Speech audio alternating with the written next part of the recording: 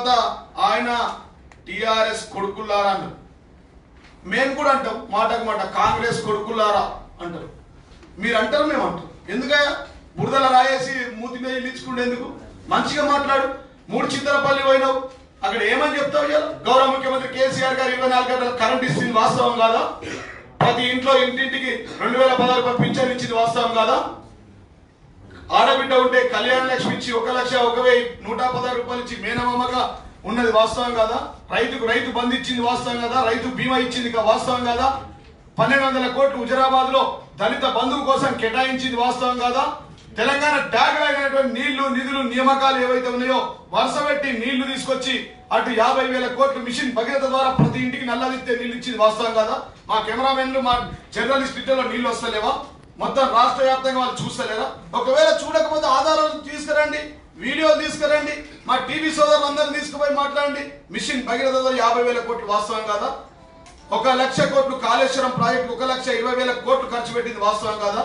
Machine కాకతీయకు ఇరవై ఐదు వేల కోట్లు పెట్టింది వాస్తవం కాదా? దాదాపుగా ఏడు దఫాలుగా రైతు బంధు ద్వారా నలభై మూడు వేల ఆరు వందల డెబ్బై కోట్లు ఇచ్చింది వాస్తవం కాదా? ఒక లక్ష ముప్పై ఒక్క వేల ఉద్యోగాలు ఇచ్చింది వాస్తవం కాదా? మళ్ళీ యాభై వేల ఉద్యోగాలు ఇవ్వబోతుంది. ముఖ్యమంత్రి తన మాటలో చెప్పింది వాస్తవం కదా? ఒక లక్ష డెబ్బై ఐదు వేల కోట్లు అయినా సరే పదిహేడు లక్షల మంది దళితులకు మేము మరి దళిత బంధువు ఇస్తామంటే ఎందుకయ్యా నీ కడుపు నొప్పి? వాళ్ళ పొట్టగొట్టడానికి వాళ్ళకు రాకపోవడానికి రానివ్వకపోవడానికి ప్రయత్నం చేస్తూ ప్రతినిత్య దళిత దళిత దండోరా అంటున్నావు బిడ్డ. మరి అంతకుముందు డెబ్బై ఐదేళ్ళు మీరే ఉన్నారు కదన్నయ్య ఈ దేశాన్ని అత్యధిక పాలన కాలం పాలించింది మీరే కదా. మీరే గనక ఇల్లు ఇస్తే మీరే గనక ఉద్యోగాలు ఇస్తే మీరే గనక దళిత బంధువు ఇస్తుంటే ప్రతి ఇంట్లో పది లక్షల రూపాయలు ఇస్తే పదిహేడు లక్షల కుటుంబాలకు ఇస్తే మా అవసరం ఏముంటది కదా మా ముఖ్యమంత్రి గారి పాలన ఏం అవసరం ఉంటుండే? మాకు ఈ పథకాలు మాకు వచ్చిన. అదే ఫ్రస్ట్రేషన్. ఈ అన్ని పథకాలు ముఖ్యమంత్రి గారు కనుక అమల్లోకి తీసుకొస్తే ఇక మాకు మిగిలేది దుడ్డు దుకాణం ఏముండదు మాకు మా పార్టీ ఉండదు మా గాంధీ భవన్ కూడా టూలెట్ బోర్డు పెట్టాలా? ఈ టిఆర్ఎస్ వాళ్ళ సంగతి మాకు తెలుసు. నేనున్న టీడీపీ ఆఫీస్ కూడా టూలెట్ బోర్డు పెట్టినా పెట్టిర్రు. మళ్ళా ఇప్పుడు నా కాంగ్రెస్ గాంధీ భవన్ ఎన్నుకోమంటారు నా బోర్డు కూడా టూలెట్ బోర్డు వస్తాయని చెప్పి భయపడుతున్నాడు. ఇక దళిత ఇళ్ళలో వంట కాలు మీద కాలేసుకొని పేపర్ చదువుతుడు దొర. పక్కన చూస్తే దళిత ఇళ్ళల్లో మరి మేమైతే దళిత ఇళ్ళలో ఎనభై ఒక్క ఊర్లలో పల్లె నిద్ర చేసినాం. వాళ్ళ నీళ్ళు తాగినా వాళ్ళ బోధిందా వాళ్ళ కంచంలో ఉన్నా.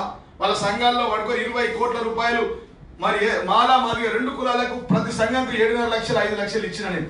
ఆయన ఆయనే కూర్చున్నాడు కాలు మీద కాలేసుకొని పక్కన కిల్లే వాటర్ నీళ్ళు నీళ్ళు తాగుతారు. అటు పక్కనేమో మా దళిత బిడ్డలంతా గ్లాసులలో చెంబులలో కుండలలో నీళ్ళు తాగుతారు.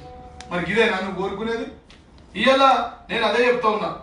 ఎనభై లక్షల మెంబర్షిప్ ఉన్న టీఆర్ఎస్ ఒక్కసారి కనుక మా ముఖ్యమంత్రి గారు ఆదేశిస్తే ఇవాళ చివరిగా ఈ లెటర్ మళ్ళా కూడా చూపిస్తున్నాం మా మీడియా మిత్రులకు ఇచ్చిన. ఇప్పటికే ఈ లెటర్ ఇలా ట్వీట్గా వెళ్ళింది ఫేస్బుక్లో వెళ్ళింది. ఆయనకు మేము వాళ్ళ ఆఫీస్ కూడా చెప్పినాం to the to Rahul Gandhi member of the Indian national congress member of parliament twelve Tughlak lane న్యూఢిల్లీకి ఇచ్చినాం. ఈయన గురించి ఈయన పద్ధతి మార్చుకోమనం మాటలు మార్చుకోమనం మాట్లాడే విధానం మార్చుకోమనం. నేను అడుగుతా ఉన్నా రాహుల్ గాంధీ గారిని సోనియా గాంధీని. ఇరవై తొమ్మిది రాష్ట్రాల్లో అనేక రాష్ట్రాల్లో కాంగ్రెస్ ప్రెసిడెంట్ ఉన్నారు.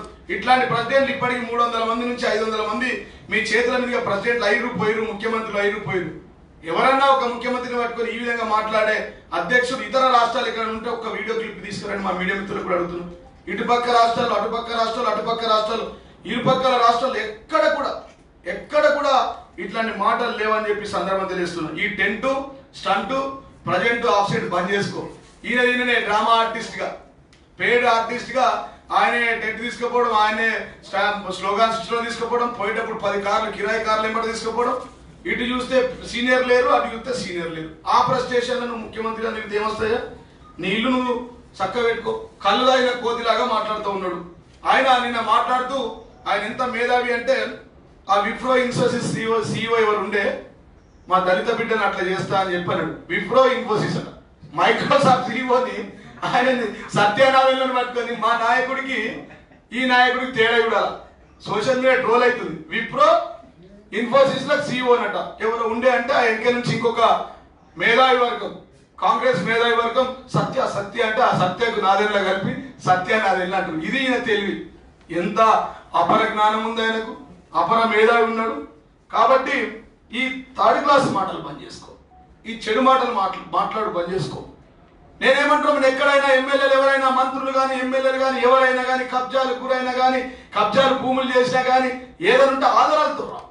ఆధారాలతో రా. ప్రెస్ వాళ్ళకి ఇవ్వండి ఆధారాలతో. ప్రెస్ వాళ్ళు బ్రహ్మాండంగా మీడియాలో రాస్తారు. దాని తర్వాత కో- కేసులు పెట్టండి. హైకోర్టు ఉంది సుప్రీంకోర్టు ఉంది లోయర్ కోర్టు ఉంది డిస్టిక్ కోర్టు ఉంది. ఆ కోర్టులలో జడ్జిమెంట్లు వస్తాయి మీకు దాని ప్రకారం పోవాలి కానీ ప్రతి వాళ్ళ మీద ఎవరు మాట్లాడితే వాళ్ళ మీద బట్టగాల్చి మీదేయడం. మేమట ముఖ్యమంత్రి కుక్కలు అని చెప్పి మాట్లాడుతున్నాం. మరి నువ్వెవరు సోషల్ మీడియాలో ట్రోల్ అయింది. మా సీతక్కని తీసుకుపోయి పాపం మా దళిత మా అక్కని తీసుకుపోయి చంద్రబాబుతో కాలు మొక్కిస్తుండు. సేమ్ అదే రోజు ఇటు రాకి కట్టి కాలుగా కాళ్ళు మొక్కిస్తుండు. ఇటేమో మా చెల్లె అని చెప్తుండు. మరి నువ్వు ఎవరి పని సైకిల్లో ఎవరు బానిసవో ఎవరి కుక్కవో మాకు తెలిసిపోతుంది.